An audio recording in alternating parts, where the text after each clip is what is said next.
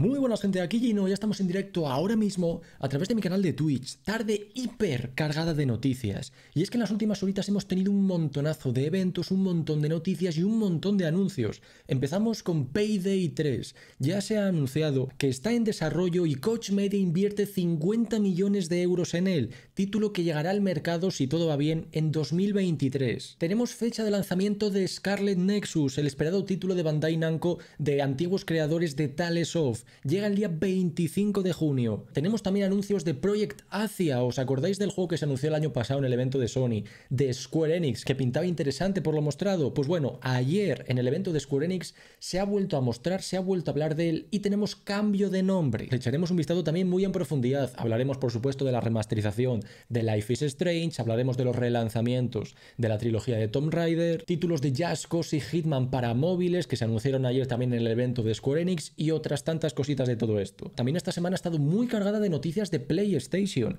y es que en las últimas horitas se ha anunciado que Sony PlayStation ha comprado el Evo, el evento de juegos de lucha más importante de la industria. A partir de ahora pertenece a Sony PlayStation y Nintendo ya ha hecho un comunicado oficial sobre si va a continuar manteniendo juegos como Super Smash Bros. en este torneo. Tenemos también anuncio de 10 juegos gratuitos para la familia de PlayStation 4 y PlayStation 5 con esta modalidad de Play at Home de los juegos en casa que se inició el año pasado con todo esto de la pandemia.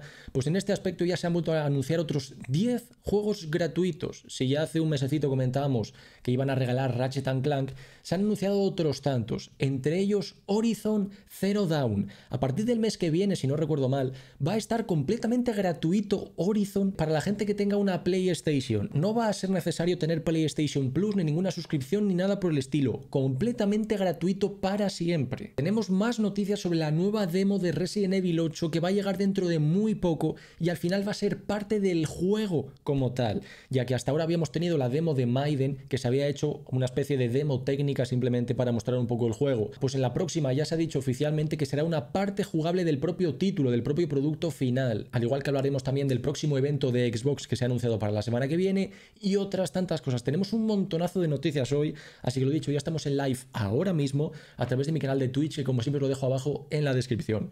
No os lo perdáis porque se viene tarde muy poderosa.